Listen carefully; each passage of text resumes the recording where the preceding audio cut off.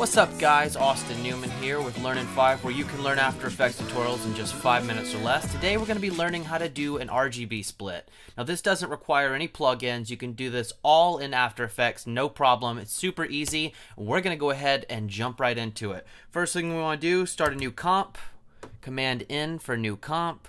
Uh, I have 4K settings, 24 frames a second. So the first thing you want to do, let's go ahead and do this for just text. We'll just put RGB. We'll go ahead and center that. Let's pull up our title action safe. I always like to have those on. So we want to go up here to our effects and presets panel and get shift channels. Drag that onto our text file there. So we are not going to worry about any of this right now. We want to go ahead and right click in here for new null object. Let's go ahead and place this on top. We're going to retitle this by clicking enter. We're going to call this master control. So the next thing we want to do is go over here to effects and presets and go to slider control and drag that onto your master control. So we're not going to mess with that either yet, but we are going to go ahead and pull this down so we can show our slider here.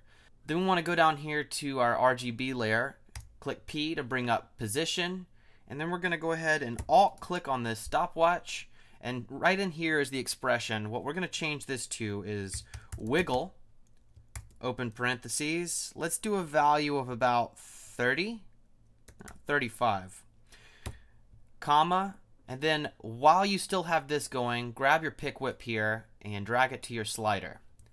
It'll create this expression here, and then you do end parentheses. Click anywhere to close that. All right, so now that we have that, this will kind of move this around for us. We're going to go ahead and zero that out for now.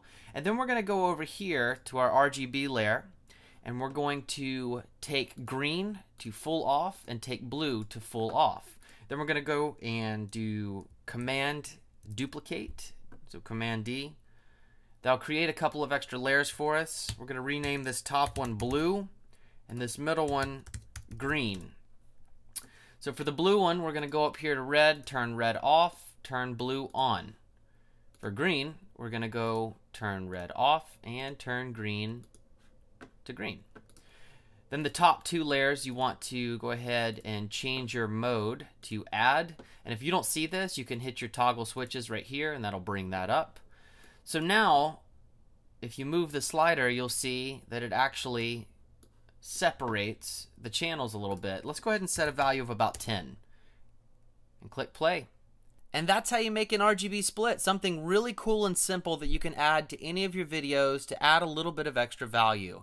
If you learned anything, make sure to hit that subscribe button for more After Effects tutorials in 5 minutes or less. If you enjoyed the video, make sure to share with your friends, give us a big thumbs up. You can connect with me on Instagram at Austin Makes Films. Drop me some suggestions for some new videos you guys want to see me do or some tutorials, things you want to learn. And until next time, guys, we'll see you later.